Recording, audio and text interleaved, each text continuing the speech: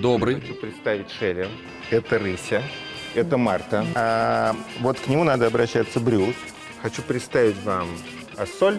Это Тихон. Его зовут Аватар.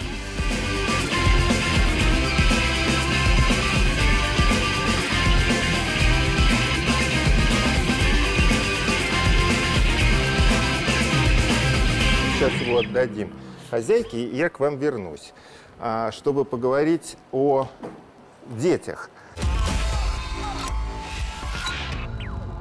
Значит, у вас разница у сыновей 10 лет, я так понимаю, да? У Младший- сыновей младший 10, в прошлом а году- у детей году, получается э, пять, ну, у пять. вас, а? По пять. Да, да, да. То есть у вас прям раз в пятилетку вы... Ну, мой друг один, э, царствие небесное, шутил на этот счет. э, Типа, вы с женой что, один раз в пять лет этим занимаетесь? Шутка, конечно, но такая, э, она мне в голову почему-то все время вспоминаю. Вы с вашей супругой произвели шестерых детей. Это только это, это тоже везение. Кстати, чем детишки занимаются, расскажите. Очень по-разному. Изначально я как-то пытался направлять это, ну, по-отцовски. Я их отдал на айкидо, чтобы они научились... Всех э, шестерых вместе? Ну нет, кто достиг определенного возраста, э, когда уже можно заниматься. Там, А когда начиная- можно заниматься? Ну, начиная с четырех лет уже можно заниматься какие-то первичные упражнения, как падать, как страховаться при падении. И вот сейчас они подскальзываются, и ви- я вижу, что у них рефлекторно, они коленки тянут к подбородку, ну, э, чтобы меньше вариантов было повредить позвоночник при падении или удариться обо что-то, об угол. Э, Потом я их отдал на гимнастику, потом я их отдал на Маотай, и вот после этого я их отдал, закончилось, и они самоотдаваться стали. Стали заказывать, первая Дуся для себя выявила, э, что можно по интернету заказывать учителя, договорилась с милой женщиной, учительницей химии. Мы подивились такому прогрессу эволюции в нашей дочери социальной адекватности. Потом за ней Варя, смекалистая девочка. Варя ушла, потом э, еще попросила, чтобы я нашел, где ей заниматься гитарой. Я тоже был удивлен, потому что, ну, я не прилагал усилий убедить ее. Я пошел, нашел ДК, нашел, соответственно, лауреата международных конкурсов. Замечательный дядька, кстати, Евгений Валерьевич. Э, Евгений Федорович, прошу прощения. Такой он классический вот э, лауреат международных конкурсов. Замечательный дядька.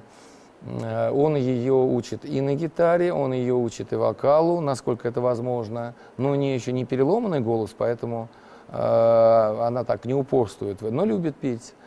Дуся пошла тоже поучилась на гитаре, потом перешла на электрогитару. Сейчас Дуся, помимо того, что э, она поменяла школу и пошла в школу при первом медиа, А она уже представляет себе специализацию да, будущую медицинскую? да, да, да, Кем да. она будет? хочет быть хирургом. А, если у нее получится микрохирургом, микрохирургия, но она понимает, что это все-таки это как талант.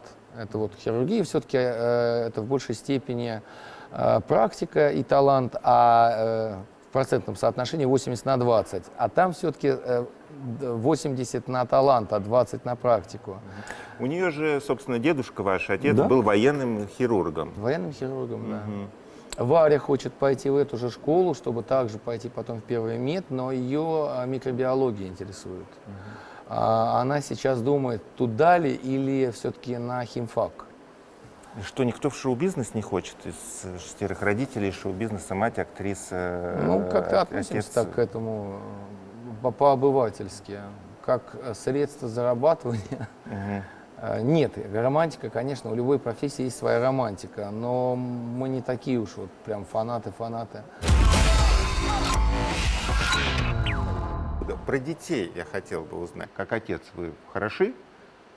Вы знаете, эта вещь такая тонкая. Когда, скажем, Степана забирали в армию, я понимал, что он уходит, и я оттягивал это. То есть я хотел скорее расстаться, потому что я боялся, что я дам слабину.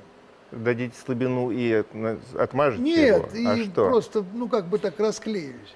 Мгм. И он ждал этого, и я сделал все, чтобы этого не случилось.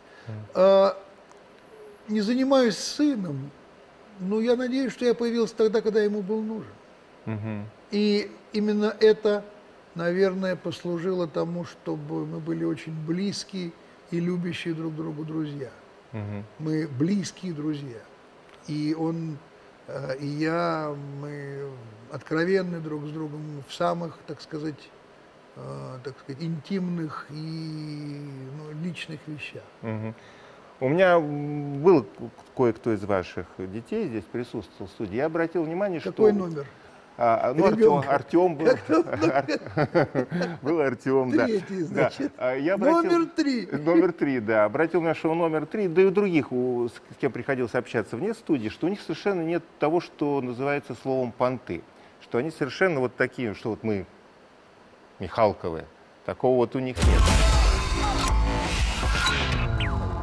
У Сергея Евгеньевича, вашего сына, будет Да. юбилей, 40 лет ему исполнится. И я, насколько понимаю, он просто вот стал, ну, что называется, профессиональным православным. Он ушел в монастырь. Он Это ушел, после того, как он занимался очень успешно кино. И э, в кино ведь он занимался при помощи вашего э, товарища э, Никиты Сергеевича Нет, Михалкова. он нет, попал. Нет, нет, не, не с нет, подачи нет. Михалкова он Нет, попал. не в кино? абсолютно никакого. Нет, он, он одно время служил в подразделении у Никиты, В 3Т. на его фильм в 3Т, Ага. подразделение, которое Виталий Максимов там у Никиты возглавляет, это 3Т видео. Мгм. И, в общем, начал там штатив таскать, а потом стал там постепенно вторым человеком. Но потом он окончил высшие курсы режиссерские у Володи Хотиненко, годичные, и стал уже вот э, э, искать средства. Он просто вот он, он снял, он снял много таких э, такой продукции короткометражной, телевизионной. Он рекламными какими-то занимался? И видимо, всем он занимался. И пьеса его шла, написал он пьесу, шла пьесу, я ее поставил в театре Вернисаж, в маленьком театре на Беговой в свое время. А, Ну и в кино он снимался, но потом он снял полный метр и уже ушел, ушел вот в монастырь. Ну, вы с ним общаетесь при этом? Да, вы вы да. туда приезжаете, в монастырь? Ну раз в год я приезжаю туда на недельку. Вам хватает? Ну, а там ведь, э, понимаете, там такой образ жизни, что что же его отвлекать? Он же там занят. Ну что, э, я не- это как бы даже Мгм. неделикатно. Ну, э, он может мне уделить в день там, ну, час, ну, два от силы. Мгм. А так он же там, там нагрузка очень большая в монастыре. Он послушник, он, год он был трутником, это ни к чему не обязывающее положение. Это человек, каждый может приехать в любой монастырь и вроде, э, как сказать, ради Христа там э, за ночлег, за хлеб, э, образно говоря, работать. Мгм. А послушник это уже член братьи, это уже эм, э, это ни- низший чин в, в этой иерархии, а высший это патриарх. Понятно. Не могу не спросить про ваших дочерей. И вот вопрос, который на самом деле из э, обоим из стандартных.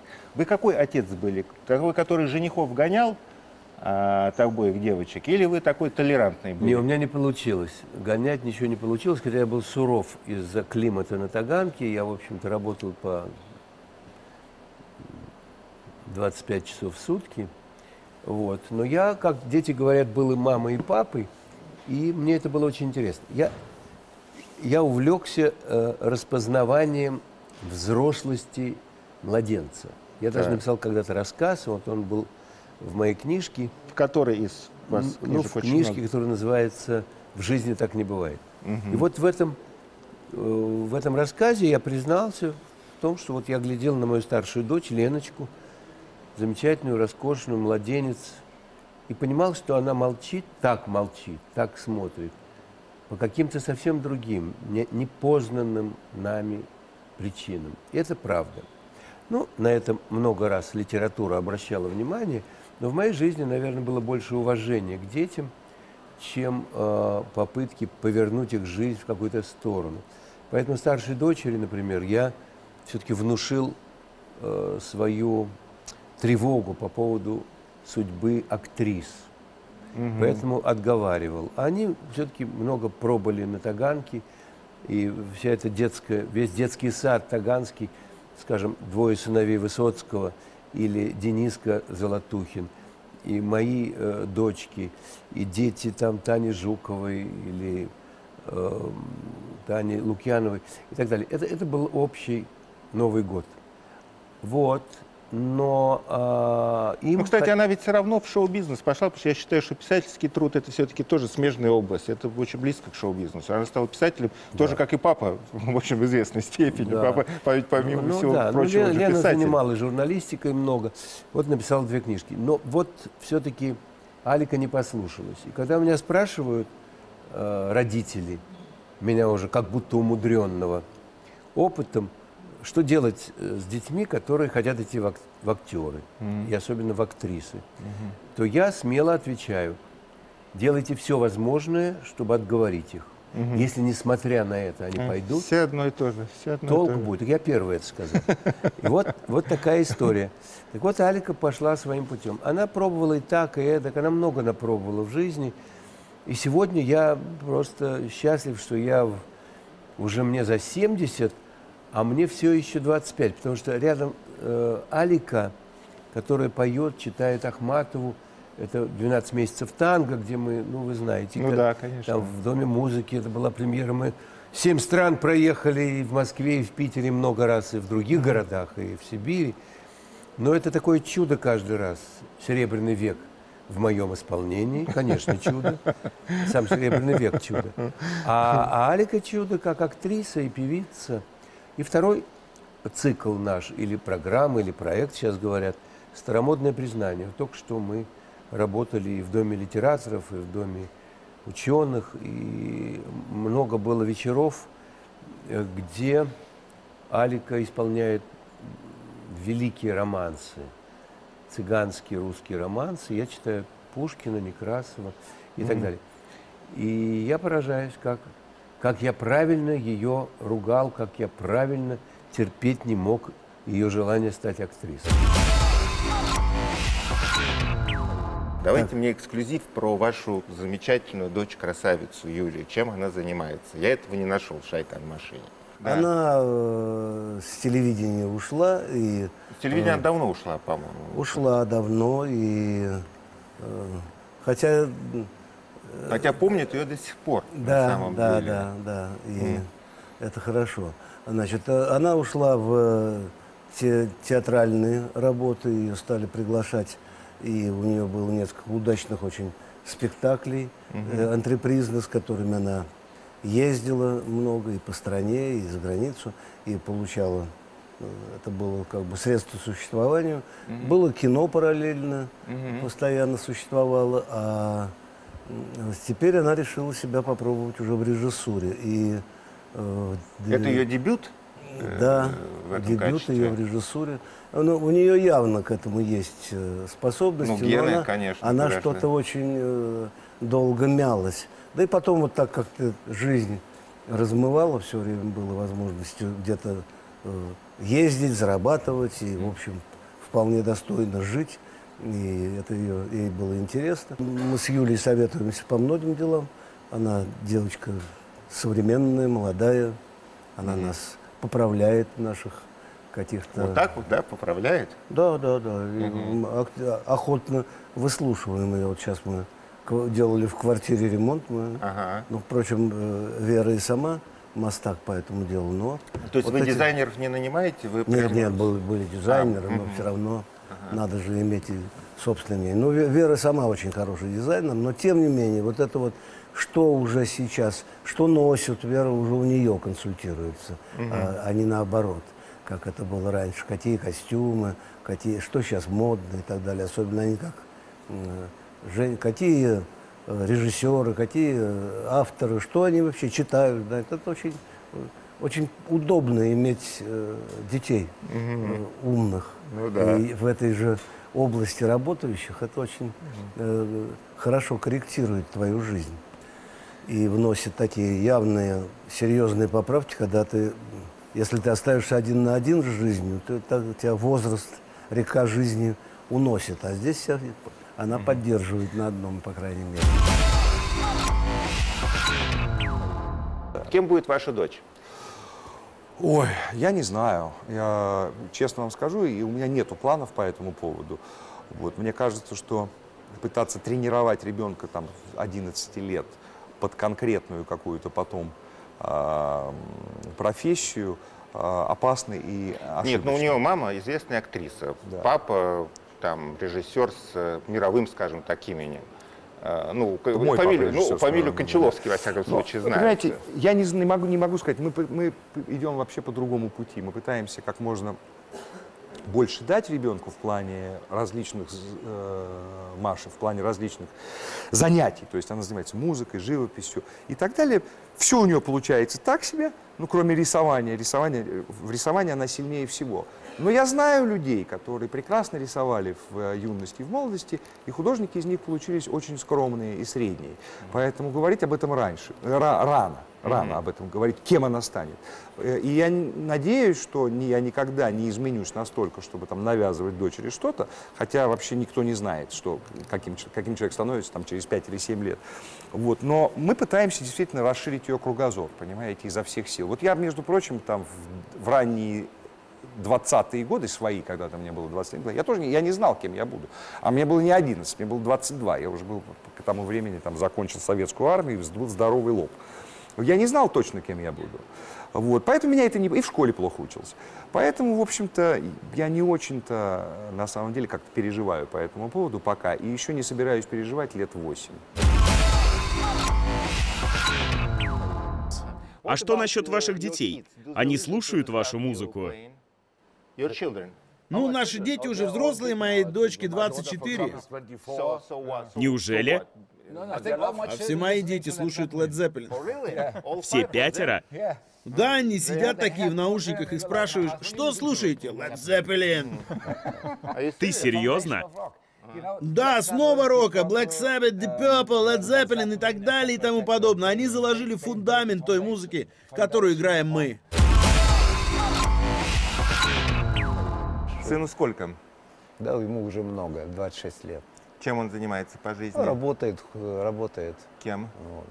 работает э, в одной очень серьезной компании в отделе развития. Ага. А то есть музыкой совершенно не увлекается? Музыкой только как Ну, потребитель, как потребитель слушатель. слушает. Ну, да. это, это- это само собой. Это Ну странно да, было да, без да, нет. да. Но... Ну, со мной, конечно, занимается, там, участвует э, в той или иной степени в разных ипостасях, но участвует то в качестве критика, то в качестве советчика. То есть это, конечно, постоянно присутствует. И м, порой я нервничаю, но тем не менее выслушивать приходится. да. Нервничаете. Почему? Потому что то есть Степан Дмитриевич оказывается суровым критиком? или Ну да, почему? может, может. Хорошо, а сын у вас? Сын тоже закончил музыкальную школу. Да, да. Да, но у него еще пальчики как-то помнят. Мгм. А на чем он музицирует? Фортепиано у него тоже. А поет? Никогда не слышал, честно вам скажу. А вот, Может ду- быть, в ванной. вот бы дуэт бы, бы, бы исполнил. Я думаю, это было бы хитом. Независимо. надо из- подумать. Подумайте, за- да, это, это за идею. хорошая на самом деле, да, такая вот как бы. И надо же молодняк подтягивать, тащить на себе. Дети-то, которые по- по-русски не говорят, э, Говорят. теперь, да? Ру- говорят по-русски. э, По-русски. По-русски Говорят по-русски. Вот, я понимаю, как они говорят по-русски. Это когда- Папа у них уже. Когда я детям говорю, напиш- пи- я переписываю, пишу, вернее, пи- все смс, письма, имейлы только на русском языке. Ага. Э, Первое время мне второй сын пишет, папа, я не понимаю, на английском, я не понимаю, anything, just пиши мне на русском, он на, английском. А, Я продолжаю ему писать на русском. правильно. Э, Заставил, он начал э, воспоминать русский язык, и сейчас он, он все равно пишет мне на английском, но это не важно, он хоть понимает, о чем я говорю. А когда при- вот сюда они приезжают, их как-то торкает, что вот это родина, или нет? Это нет, нет у них ощущения такого, что Ну вот последний раз, когда пару месяцев назад старший прилетал на отдых, привози- привезя два, двух австралийцев, Мгм. э, э, один из них никогда в жизни не видел снега, совсем. Да? Они приехали, когда, помнишь, в кон- конец ноября, декабря, Ага. тридцатник был такой. Ага, да-да-да. Вот это в самые морозы они приехали. Не понравилось. Одежды у них нету. Денег нет, чтобы купить, Нет, ну, денег у них вообще нет. Денег-то, деньги-то ладно. Ну, не серьезно надо на, на неделю покупать одежду. В общем, я их одел. Так. Кроме этого, э, я их свозил э, в город Ульяновск, там у меня родственники. Мы Ага. повозили по, по- по всем, не только Москву увидеть, чтобы они увидели все. Мгм. Сводил их на Красную площадь, на каток, Так. Э, Посмеялся вдоволь, но человек ни разу не видел снега. Да, понятно, что он ни разу не видел коньки. Он надел коньки, поехал на коньках, падал. Ну, в общем, это было, это было здорово. Ну, а сколько лет ему уже? Он такой... 18. 18. Ну, надо невесту уже искать. А В Он Ульяновске сказал, ему. В Ульяновске-то невеста Ульяновске- получше, чем в- в Вот Мельбурне. я не знаю, э, как, но, но сейчас есть, правильно мы говорили, средства связи. Да, соцсети, И да. соцсети все буквально. Конечно. У него все подружки русские. Ну, правильно. правильно Поэтому мне не конечно. нужно ему говорить, что русские девочки самые красивые. То есть он в, этом хотя бы он это уже- разбирается. он это уже знает. Ага. Причем он мне написал это из Испании. Они после Москвы А в Испании поехали. он что делал? Отдыхать. Они делали тур отдыха. Это Поехали. из Австралии лететь в Испанию отдыхать? Ну, они через- поехали, через они съехали- съездили в, Австра- э, в Москву, они съездили А. по России, они съездили в Гонконг, они в Китай съездили, сделали потом Москву и потом Мгм. Испанию и полетели обратно. Мгм. Он говорит, в Испании, говорит, говорит, русские девочки намного, говорит, лучше. Ну, слава богу, молодец.